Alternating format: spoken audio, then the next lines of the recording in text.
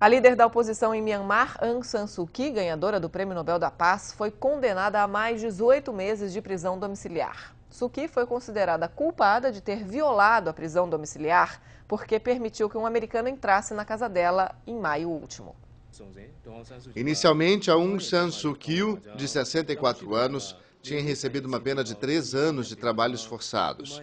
Mas o chefe da junta militar que governa o país atenuou a pena. O julgamento durou três meses. A Prêmio Nobel da Paz, de 1991, passou 14 dos últimos 20 anos detida. A nova condenação vai impedi-la de participar das eleições nacionais convocadas pela junta militar para o próximo ano. Aung San Suu Kyi foi considerada culpada de transgredir as regras da prisão domiciliar porque recebeu o americano John Yetol, que tinha conseguido chegar a nado à casa dela. O americano também foi condenado e vai passar sete anos preso, sendo quatro em campos de trabalhos forçados.